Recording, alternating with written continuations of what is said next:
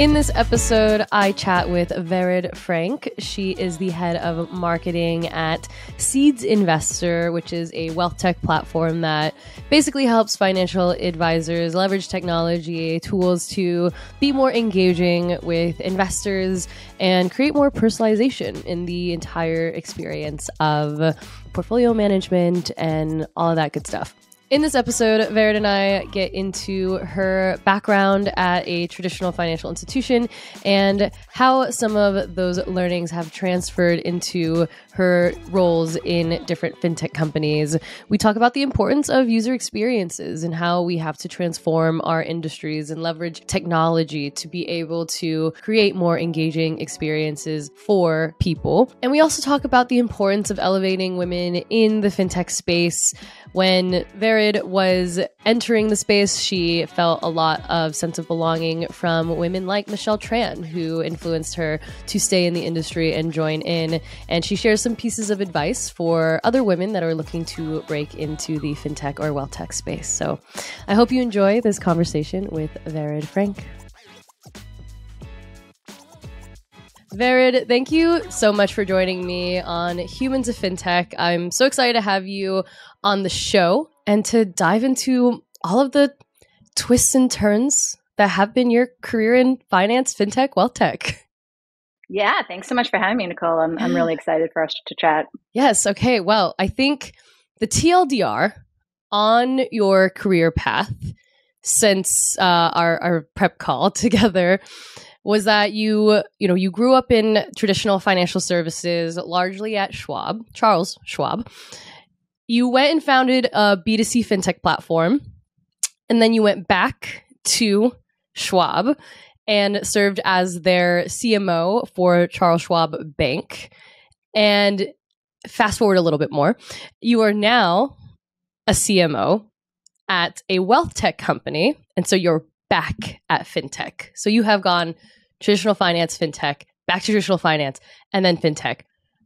What a part of that whole journey like stands out the most to you? Yeah, I would say I spent a big chunk of my career, it feels like, interested in fintech, looking to see what made the most sense for for me and what I was looking to do. And I would say it was a hard journey to make that um, that pivot, that shift. And I imagine there are a lot of other listeners who are feeling the same way, and, and we can talk more about the details. But making the migration from traditional financial services to fintech is um, a path that not many people take, um, but at the same time, it's been incredibly rewarding because the experience I've gained from both sides of the table, even though I don't like to think that way necessarily. Um, has been invaluable. And I just feel at this point in my career, um, it's just really empowered me to make good decisions and really be able to accelerate growth um, both at startups as well as larger organizations. Yeah i mean i'd love to get into into that right? Into that um, almost that necessity right? Where you have the background of working at traditional finance which has that structure right? It has that organization. Complete opposite out of fintech startup right? Like a fintech startup is like I hope you're ready to run with the wolves. like I hope right. I hope you're ready. But those are also skills that you need in in a career. So I mean talk us through maybe what are some of the bigger learnings in the traditional finance realm and then maybe we can talk about like the fintech and how that crossed over or didn't cross over. Yeah. So, you know, it's interesting looking back in my career, especially in traditional financial services and and perhaps I was lucky because I, I, mostly spent my time at Charles Schwab when it came to the larger brokerages, but I worked with incredibly talented people. And so I think there's a little bit, unfortunately, of a misconception around who's working at these legacy financial services companies and who's mm-hmm. working at the fintechs. And there's a little bit of that FOMO where you feel, oh, I'm not working with the smartest and the brightest because I'm not at these um, fintechs that were often started by some of the smartest and the brightest out there for sure.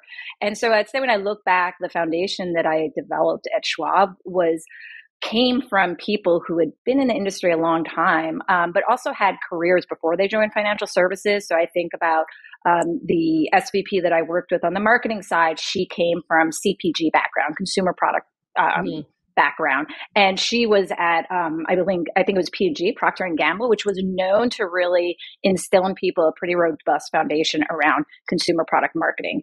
Uh, another example was uh, a leader that I worked with came from McKinsey. There are actually a lot of ex McKinsey um, leaders at Schwab, and again, what what this gives people is really kind of frameworks and solid foundations that they can then apply no matter what the scenario. And I think that's some of the value that you get from some of these larger organizations, especially if you're working organizations that have brought in talent um, that have really learned these foundation and frameworks, because then you can go to a startup, like I said, you can go to kind of any environment and you've got a foundation to work with. I find that sometimes when you're at a startup and you don't have some of that background in place, it is easy to struggle, yeah. unfortunately. And it is that much harder because there's no structure. You have to develop it. But if you've never done that before, or you don't have some of those frameworks in mind as you're looking to develop it, um, it you can be at a real disadvantage. Mm. Yeah, I think that's, you know, as a, even working for a startup myself, just seeing, you know, it's so fun and also crazy for me to see some of the, you know, fresh out of college coming and working, um, you know, at the my media startup. And I'm like, wow, can't imagine like can't imagine what it's like to just like jump so deep in, right? And also have so much responsibility and it be so fast paced and all of the things right away, right? And in a way I'm you know, I am envious because it's such a cool gig to have right after school, but I'm also then on the other side really grateful that I did, I guess, you know, despite whatever work traumas work in more traditional corporate America structures because it did lay this foundation that almost for me has accelerated being able to work at a startup. Like the reason I'm able to manage all of the different tasks and wear the hats or do all the things I have to do in a startup is because I have that I know how to organize myself because I once had managers or you know editors and stuff that kind of made me that way. Is that kind of what like experience you feel like you had and that maybe translates you know into working at a fintech startup too? That that's exactly it right? So so if, you, if you've never seen it happen before and i find this again and again especially when i work with um, founders who are earlier in their careers or, or people that are working at fintechs earlier in their careers if you've never seen it before you, you, don't know what it looks like and i would say even even when you try to explain it, it it's hard to, to help people understand well here are the steps that you go through and here's why uh, and I would say sometimes people have a visceral reaction when you talk about processes. So, um, like I said, I, I've kind of um, I've met with so many fintech companies. I've interviewed with them. I've met with them from a consultative basis. And sometimes I, I've been in conversations where I talk about these things and people look at me and the feedback is, you know, she's too process oriented. Um, and again, I think that's that's a natural reaction from someone who, to your point, is starting in the startup world, right? They're they're going to it because they have this impression of what um, large organizations look like, and they, and they're not attracted to that. But at the same time, it's sort of no, there, there's sort of an appreciation of, of someone who can bring in some of those processes and help you learn and grow. Process is not always a bad word. And I think sometimes um, startups do have a visceral reaction to that. And, um, you know, they, they don't, they don't want to have all that red tape and that, um, yeah. um, the extra steps. And I think it's about finding the right balance, right? Yeah. It, I don't think you have to over process things, but I think it's good to say, all right, kind of these are the, the main components we want to think about. Um, and then there's a lot of free form of, of how you execute against them, right? It's not that every task behind those things is, is sort of predefined. And I think that's what makes startups really exciting um, versus coming from a traditional firm. If you're working on a legacy product or a legacy team in a traditional firm, everything's sort of laid out, right? So, when, mm. you know, when mm. you join that company, people often say, here's how we do things. And again, this the startups are really trying to break that. So I appreciate both sides and I think it's just being knowing how to blend the two together in a way that actually really drives growth. And the successful fintech startups that that's what they've done. Mm. Right. They've brought that that balance and that blend um, and they're able to execute in a way that that makes sense and there's some discipline behind. Yeah. Well, at the end of the day, you know, too much of anything is not the answer, right? You always, everything has to have a balance. Um, you know, and and I think one of my main critiques, if you will, of the fintech space is that um, you know we have been very, very good at go go go we've been very good at you know get as much capital as possible get as much attention as possible get as like and and hyper focusing on some of those elements and that's fine but you know, we do still need, right? Like, especially in a product, you know, realm or even a market, like in any realm, really. But I know you're obsessed with like product and, um, but that, like, yeah, you should have processes in place, not only just to make sure that you're building the best product possible, but also to make sure that like your employees are set up for success as well. Yep.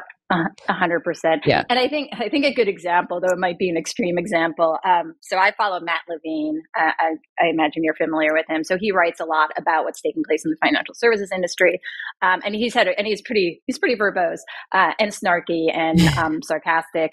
So, but I really appreciate some of the um, content he's written around FTX and, and everything that's going mm-hmm. on there. And I would say to me, one of the things that exemplifies what we're talking about is he had one piece that spoke about the fact that they brought in um, the person who was brought in to clean up Enron.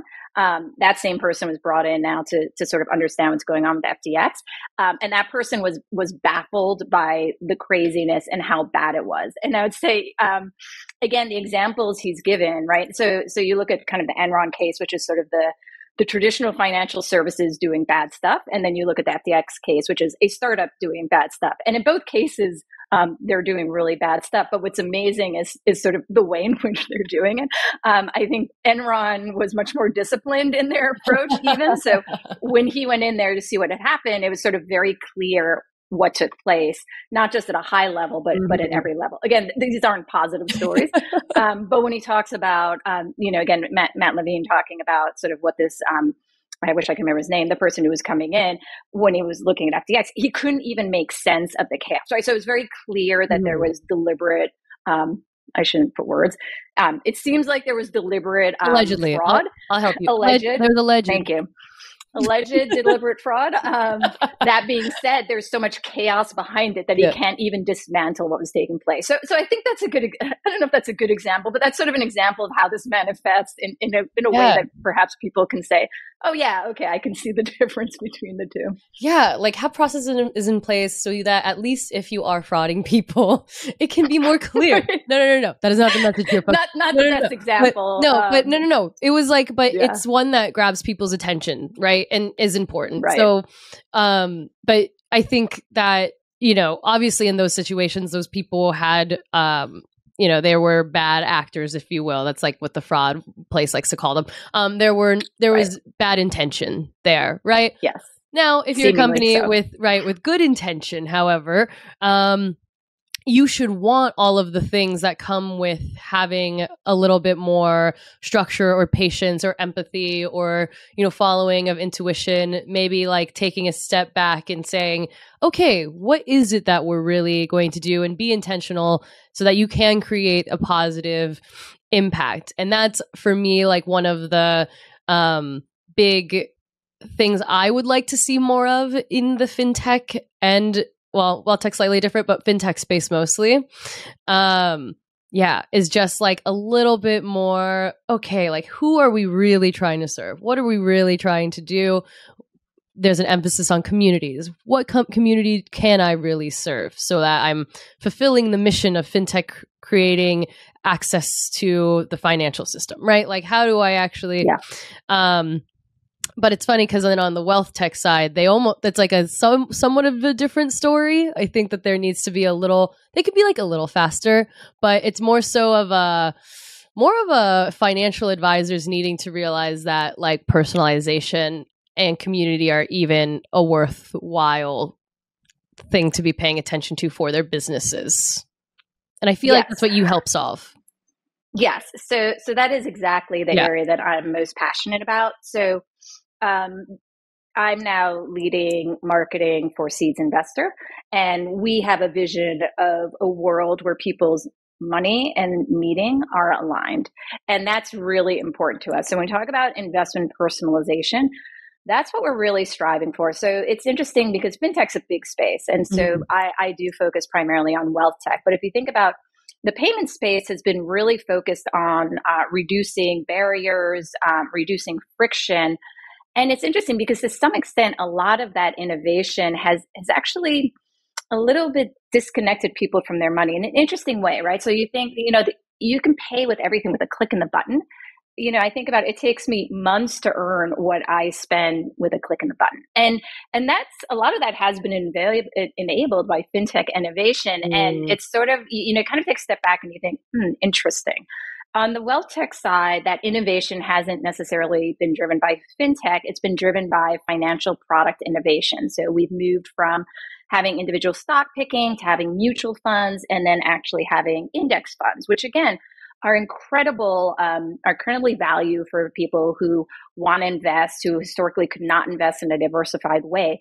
But when you invest now in these ETFs, you're somewhat disconnected from what that means. Mm-hmm. Um, so it's really removed a lot of that meaning and that um, feeling of, I understand where my money is going. And with that comes a, a lot of apathy. And we believe truly, and, and this is something that I felt a long time, empowering people to have that connection actually creates better outcomes. And mm. we're not saying that everyone should care about investments, everyone should be watching the stock market. That's not what this is about. But this is actually about understanding where your investments are going, your 401k investments.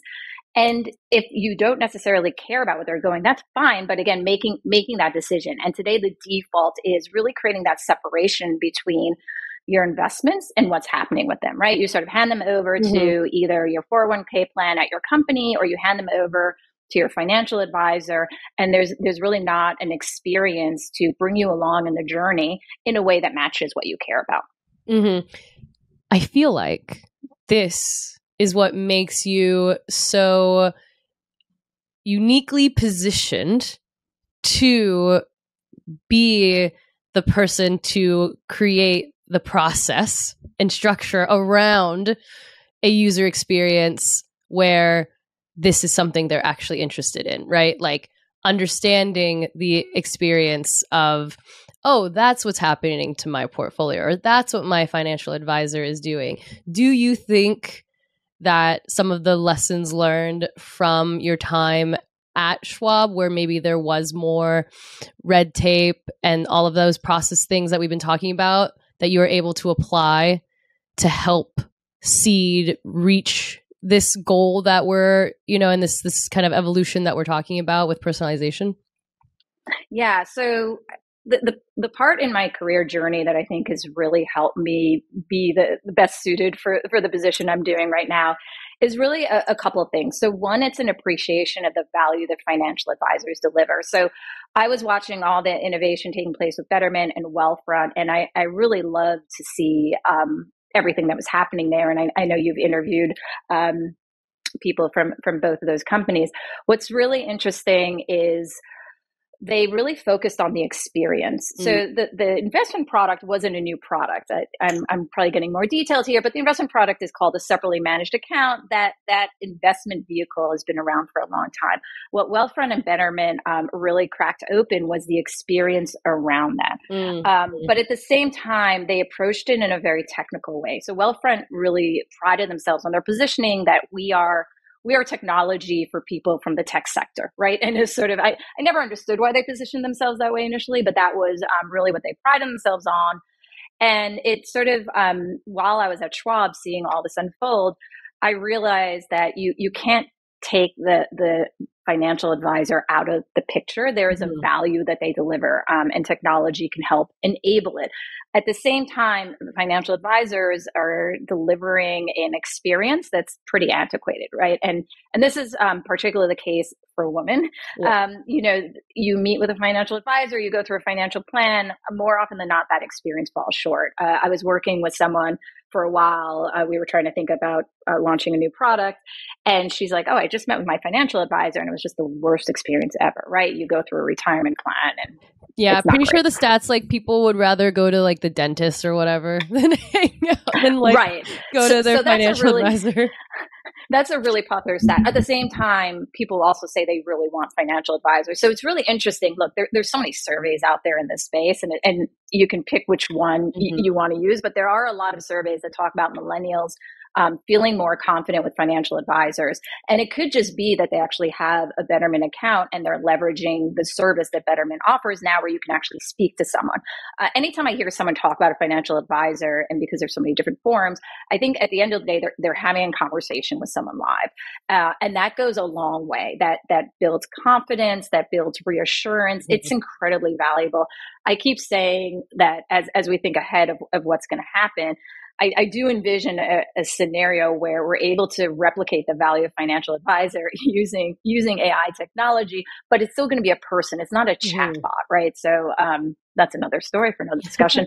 but that's really what I learned from at Schwab, right? So I was, I was paying attention to the innovation technology, but but really looking at what it meant, right? So I think you see all these trends and it's really important to understand what's driving that trend. So I think a lot of people saw the trend in robo advisors and sort of the immediate takeaway was people don't want financial advisors, and that's why they love this, and it's easier and it's cheaper. And a lot of those elements were true, but I think again, what made that technology so powerful was that it was creating a new experience by which people could invest mm-hmm. and that made all the difference um, you know same thing with robinhood it wasn't like online brokerages did not exist, right? right. Um, but they yeah. created an experience that was more engaging. And so for me, um, when it comes to wealth tech, it's all about the experience that you're building, um, much more so necessarily than the investments you're delivering at the end, because there's no shortage of investment products. I've worked on them, I've launched them, I, I'm part of that. that problem, yeah. one could say. um, but at this point, there. it's really about yeah, I've been there. But it's about creating um, it's about creating that experience and that's where technology can be um, can really just be a game changer. Yeah well it's you know technology the whole point of fintech and the tech part is technology to make a financial experience less crappy right? Less less right. Um, right less like going to the dentist and getting you know a tooth pulled or whatever you don't like about the dentist. Um and you know, I think that experience element has been such a um, sometimes a difficult thing to get into the minds of the financial advisor, right? Because they're they are they come from and you know a, a, career you know they chose a career where that is not like you were not trying I mean, it's not my job to focus on experience it's not my job right. to, it's my job to make you as much money as possible right and it's like oop wrong maybe that once was it but we are in a different phase of world now where yeah. people they like what you said they don't just want to hear from you how great my money train is going because of whatever you've done to my portfolio. They want to know how you're doing it and why you're doing it. And they want, like, yeah, they just want that full scope because the people now are so interested in education and understanding and transparency, right? So they want that they want to know. Um, so it's like, how are you going to deliver that in a way that, you know, isn't a text message from my financial advisor or a phone call or whatever, right? How do you use technology to deliver that in, you know, that that uh, personalized way, especially a way that is that the user or the end client, right, feels like you understand me. And that's the huge part, especially women, especially diverse communities. They want to know, like, I can trust you with my money because you understand me. Right, right. And traditionally, so much of that experience that the advisor delivered when they would try to get to know their, their clients better was a pretty manual experience, right? It was, it was sort of, they would have a conversation, they would take notes, they would write them down, and then they would sort of have to decipher what those notes meant and how it would translate to how they should speak to this client going forward. But it was all manual, it's all automated. And look, advisors, I mean, I, I'm not good at always translating what someone says to me to, you know, how do I now act? And that's again, um, especially at Seeds, what we're focused on is creating the software for each step of that process. And so the advisor is still collecting that information, but they're doing it in a digital way. And then when we ingest that information, we're doing it again using a little more of an analytical approach data driven um, mm-hmm. understanding all right if you if you're gathering these inputs from someone more often than not these inputs mean that this person cares about x y and z right so yeah. so that's where the the technology comes in and the automation yeah. but again it's it's changing people's behavior mostly for the advisor right the the end client um, especially to your point um, the new generation of investors, women, um, people who haven't had access to wealth management historically, younger investors, they're all looking for that experience. Now we got to make sure that it's getting delivered on the front end. It's it's sort of they're clamoring for it, and it comes it gets translated in sort of different ways, unfortunately. So it gets translated interest in ESG and interest in these different dynamics. Yeah. And again, at the end of the day, what it's really saying is, I want you to interact with me differently. And advisors don't necessarily have the confidence to do so, to, to my point, right? Because they're writing these things down um, and they don't always feel confident of what do I do with this information? Mm. How do I now relay it back? How do I use it to to run my relationship, for lack of a better description? Yeah, yeah. It's like so crazy to me when people think that like fintech is dead. That's just like headlines. Yeah, I know, right? It's like comical. Let's all laugh. Ha ha ha ha. A collective laugh. Um, because li- listen to everything that you just said, right? Like, I think that the wealth tech space, the sliver of wealth tech that is, you know, in in the fintech um, industry, is has so much white space. There's still so much work left to do. We've really just scratched the surface on what we can provide, right? And and the accessibility, right? And the experiences and all of that good stuff. And I think, you know, what a cool position you are in, right? With all of your past knowledge to be able to almost like speak to the the you know audience in a way that you are after right like the financial advisor to be like hey look i've seen it been done one way. Let me let me bring you in into this other way, which is the you know the way that will help you you know build the best business possible. I mean, when it comes to Seeds Investor, where you're at now, was there like a moment or something about the company that made you feel like this is where I belong? Fintech is it? so I felt like I belong in fintech for a long time. It's interesting, uh, even though my husband always questions me. He's like, "Are you sure you enjoy it?" And it's just that you know it so well. Um, so, so fintech in particular has has felt like my uh, my sweet spot, and that's kind of why I, I keep going back and forth. Is um, when I actually you know, spoke about like how, how did I break into fintech? So when I went to Schwab um, the second time around, I sort of did, I did it because I really want to hone into my product marketing skills, right? So I before that was more of a products um, focus, but it was investment products. I had done other aspects of product distribution. I'd done marketing, but it wasn't. Um, I didn't spend uh, the majority of my time devoted to understanding product marketing and how it can be implemented at a legacy institution. And so um, that was why I went back to Schwab to really hone in on those skills. But I always knew I was going to go back to fintech, right? So um, it was sort of all right. In order to really add value to any company that I join, I want to have this expertise. Since then, um, this is my third, um, you know, full time fintech. I've done a lot of consulting. I, have also known that wealth tech was my space. So mm-hmm. you know, it's interesting you talk about kind of um, fintech is dead, and and I think again, it's a, it's a big space with lots of different verticals and um, wealth tech is one that that is actually really early on right? It, it's actually one that people you know when i was looking for fintech roles in wealth tech i couldn't find them. Um, th- there weren't that many companies. Um, that's kind of why it's you know I, I thought about starting my own company. But you know at this point people are sort of appreciating like you were saying that there, there's a value here to deliver this experience. Financial advisors aren't going away. How do we use technology to accelerate it when I met um, Zach Conway, who's the founder and CEO of Seeds Investor, I really connected with him because here was someone who had worked as a financial advisor himself and had seen firsthand what the challenges were and had built this MVP mm-hmm. that he really felt passionate about. And so everything was aligned from that perspective of in terms of industry understanding, um, deep empathy for advisors, but at the same time, to your point, an appreciation that something needs to change. And so I, I was coming from um, the, the, brokerage side, seeing seeing all of that play out. He mm-hmm. was actually an independent advisor, seeing that play out. So we had a lot of overlap in terms of our beliefs of where the industry was going and an understanding of the steps to to start moving it in that direction. Yeah. Oh, so cool.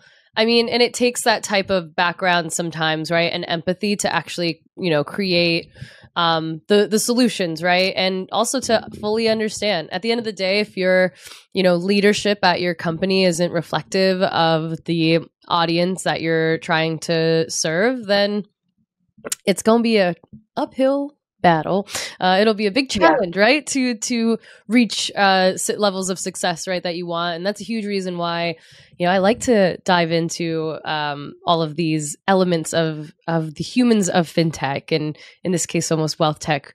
Um, I want to ask you one of my favorite questions on the show, which is if we need to be the change that we want to see, what change do you wish to see in I'll make it wealth tech for you in wealth tech and how do you embody it?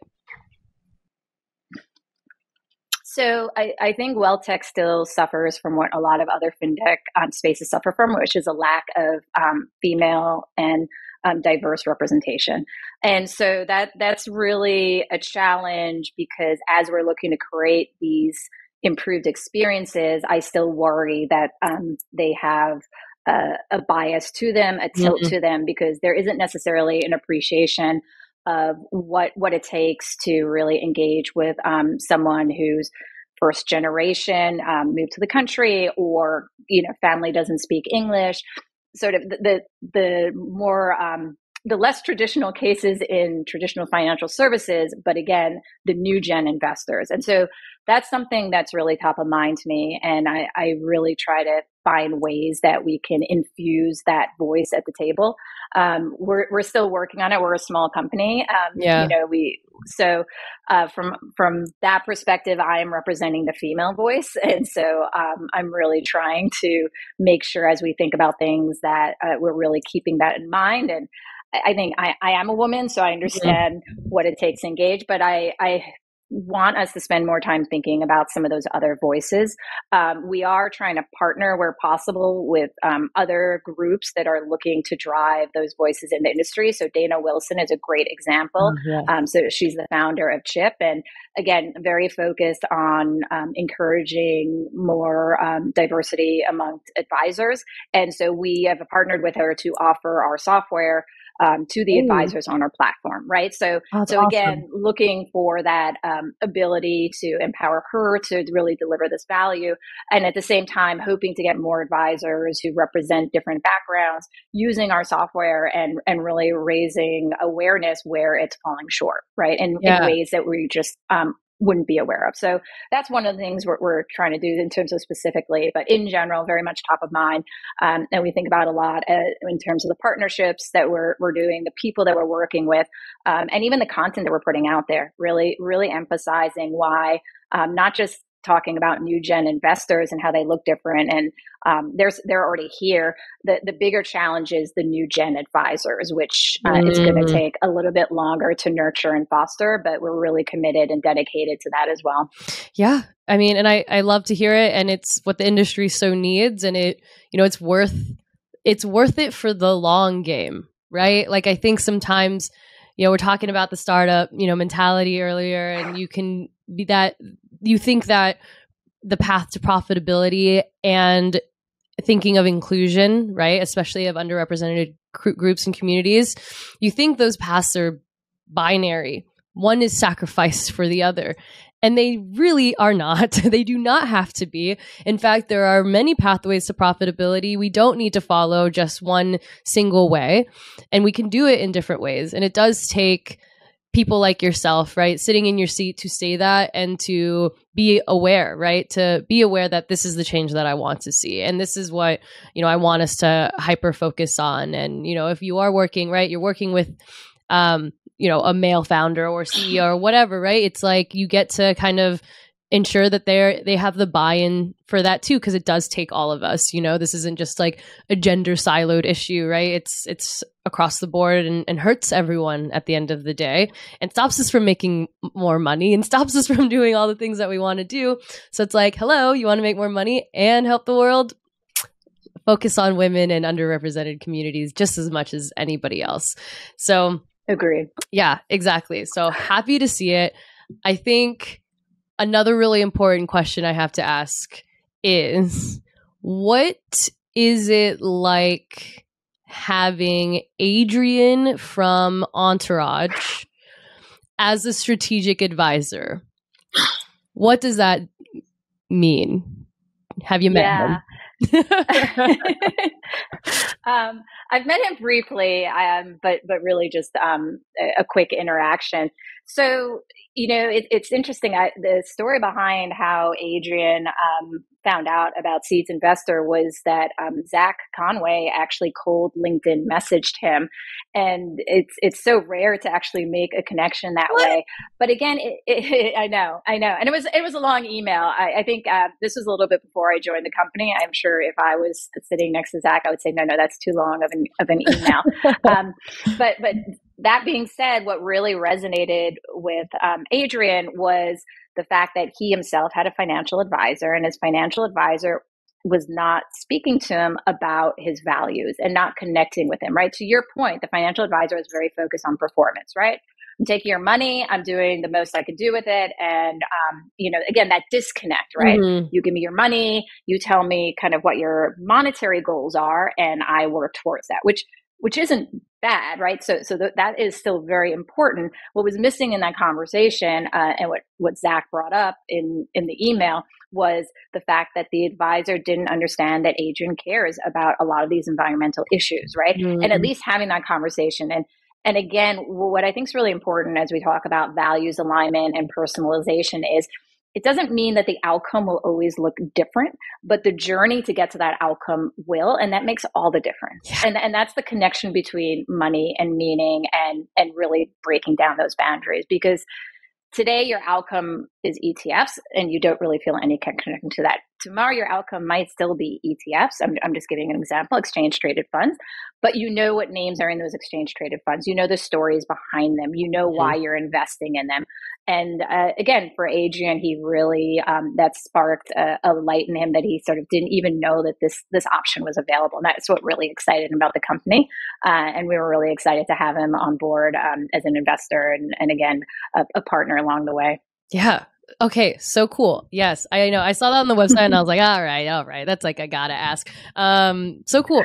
I and I love the I love the story, right? Because it is centered and you know voices like his and and yours, right? Like there's this amplification of values, which is very much tied uh, into the you know the last question, right? Around bringing more women into the space and and diverse uh, groups because you know that is something that is so right like near and dear to those groups. They have to see that their values are represented whether you know they want to join as you know on on on the wealth tech side or they want to be an advisor or if they want to be a customer. Like no matter what see you sit in you you want to see your yourself represented. And if you don't, then that's yeah. what creates all of the different disparities that we see so much of in our wealth management industry. So, but we are, I like to end these things aspirational. So we're working on um, ways to leverage technology, right, to make this, to make it better, to create, have more of those next gen financial advisors, even if it does take a little bit of extra time and patience. Better for the industry in the long run my one of my last questions for you what is a piece of advice that you would give to any listener of ours, largely other, you know, fintech founders or folks that are, you know, working in fintech, a lot of women. What's your piece of advice for them so that they can feel like this industry is for them and that they belong here too? Yeah, I mean, to me, I I feel like it's it's really important for women in particular not to be afraid of this industry. There are a lot of um, there are a lot of really uh, less less than friendly aspects of this industry historically. Um, and I, I, started on the trading floor, right? So I, I sort of understand a lot of that hesitation. I think there's also the feeling of not being interested in numbers, not being interested in math. And, and again, I think these are just kind of common sentiments that people feel like there's just a lack of education and awareness about this industry. And I would just encourage people who are excited about helping people with their money, which is, I, I can't think of something more motivating and inspirational because pretty much uh, 90% of our worries are grounded in money. And it's, it's often unfortunately, it's often not having enough of it, but a lot of times it's also just not knowing what you don't know. So, mm-hmm. my encouragement to people listening to the podcast who are thinking about going into this industry, um, but feel like it's not for them, there is a place for everyone in this space. Like fintech is so, so wide um, I would not be um, put off or scared by anything that you think might be true about this industry. I'd encourage you to speak to those of us who are working in it. Mm-hmm. And, and really, I would say I get so excited about building consumer brands. And this is what a, a lot of this industry is about, right? We're building new consumer brands, we're building new consumer experiences, we're building new consumer products. It really is all about the consumer. And so um, that, that's kind of the way I think of it. Yeah, absolutely. And there's so many, you know, you don't need to have a certain degree, you don't need to have a certain background or anything to be a part of this industry. You could be a journalist like me in fintech. You could be, you know, in, um, in marketing. You could do product design. There's so many elements. You could do PR, you know, like our friends that connect us to do this podcast together. I want to make it so exactly. clear, right? And shout so loud that there are so many different different opportunities. It's probably what I get the most DMs from is women, especially really only women asking me, what do I need to do to enter this industry? And you have a good answer there from someone who has not only worked in traditional finance, but also a few fintechs at this point. Um, Vered, thank you so much for joining me on the show. It has been such a pleasure to talk all things fintech, wealth tech, where the industry needs disrupting, and how we can get more women and diverse voices in the space. Thank you for being so open and honest with me. I appreciate your time. Thank you for having me. This has been so much fun. I, I could talk to you for hours about this, but we will uh, let your listeners uh, get off with, there, with, a little less time than that. there can always be part two. You never know. Yes. So thank you. Thank you again. All right. Woohoo. Thank you so much for tuning into this episode. To hear our next story from another diverse leader, be sure to tune in next week. And if you haven't already, be sure to subscribe to our show and give it a five star rating, as it helps our message reach more people who want to find belonging too. Thanks for tuning in.